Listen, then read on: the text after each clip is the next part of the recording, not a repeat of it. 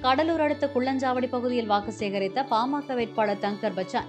அந்த வழியாக சென்ற குடுகுடுப்புக்காரரிடம் என்னை தெரியுமா? என்று கேட்க அவரோ நீங்கள் ஒரு இயக்குனர் எங்கள் ஊரில் நானூறு ஓட்டு இருக்கின்றன அவை அனைத்தும் உங்களுக்கு தான் என்று கூறி ஆசி கூறி சென்றார். எனக்கு தெரியுதா உங்களுக்கு பார்த்துருக்கேன் பார்த்துருக்கேன் டேரக்டர் என்ன தெரியல தெரியாம இல்ல.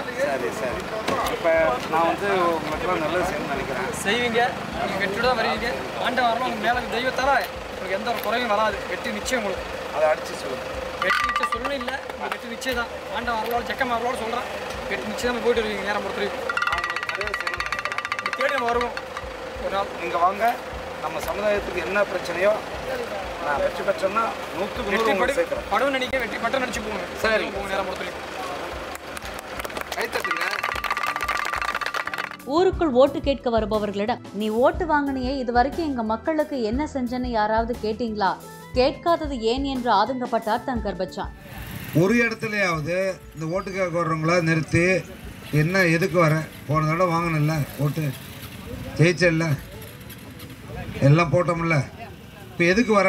எங்கேயா ஒரு இடத்துல கேட்பாங்களா? பார்த்தா கேட்க மாட்டீங்களா? அது எதனால் அப்படி இருக்குங்க? இல்லை மகிழ்ச்சியாக வாழுறீங்களா? நான் தான் தப்பாக சொல்கிறேன்னா நான்லாம் விட மாட்டேன். ஏன்னா இது என்னோடய மண் இது. என்னோடய மக்கள். என்னோடய மொழி இது. என்னோட இனம்.